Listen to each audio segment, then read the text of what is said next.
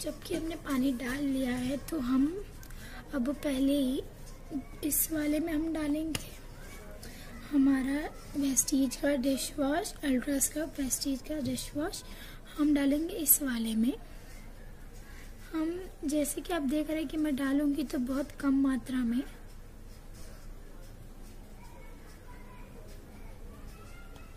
मेरी मात्रा तकरीबन आधा स्पून है। आधा स्पून लिक्विड डिश वॉश मैं इस कप में डाल रही हूँ।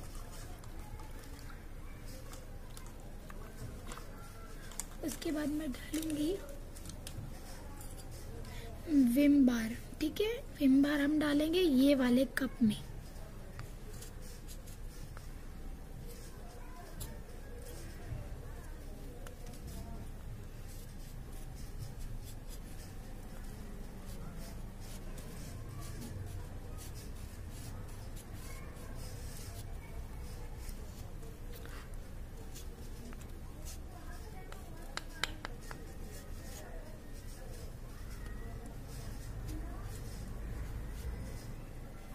जबकि मैंने विम बार डाल लिया है, इसके बाद हम डालेंगे नींबू।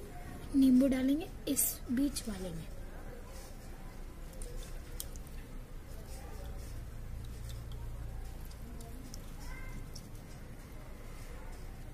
आपने देखा कि मैंने सिर्फ़ आधा नींबू डाला है और इसके बाद मैं ये तीनों को अच्छे से मिक्स कर लूँगी।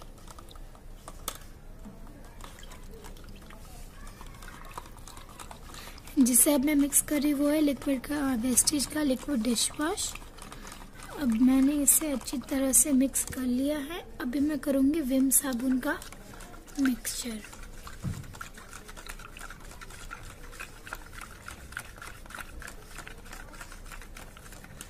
देखिए यहाँ पर लिक्विड जो वेस्टीज का है, उसका कलर बिल्कुल चेंज नहीं हुआ है।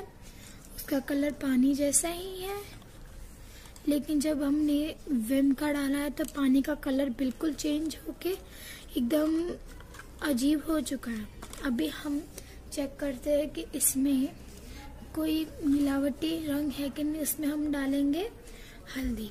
तो जो हमारे वेस्टीज का प्रोडक्ट है, उसमें हम डालेंगे इतनी मार, इतनी मात्रा में हम हल्दी डालेंगे वेस्टीज में।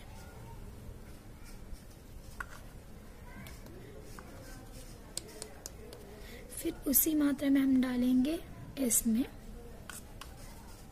फिर उसी मात्रा में हम डालेंगे इसमें। और हम जब अभी इसे मिक्स करेंगे तो हमें पता चल जाएगा कि किसमें मिलावटी ज़्यादा रंग है किसमें नहीं।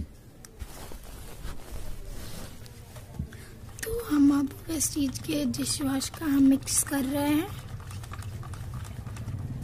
इसका रंग कुछ ऐसा हो चुका है लाइट येलो और फिर हम लेमन के, जो हम लोग ने मिक्सचर किया था, उसको घुलेंगे।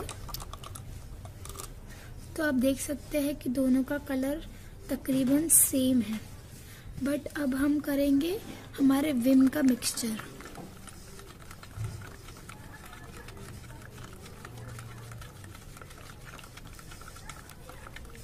तो आप एक चीज़ ज़रूर देख सकते हैं कि जो विम का है, वो पूरी तरह से लाल हो चुका है, जिसमें केमिकल मिला हुआ है, लेकिन अपना वेस्टीज का और इसका एकदम कलर सेम है।